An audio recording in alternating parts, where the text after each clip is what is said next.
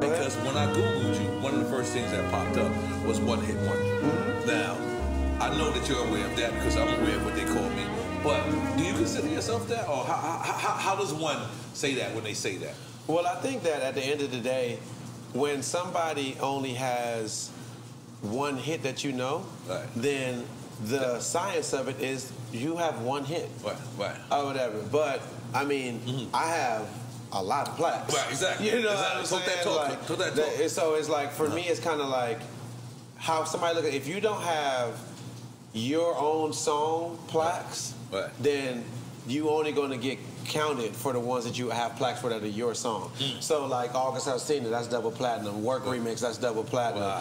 Um, Bruno Mars, that's Wow. diamond. Wow. You know what I'm saying? Wow. Like that doesn't count for hits for for me It's your lyric, it's just saying. because it, Yeah. that's that's that's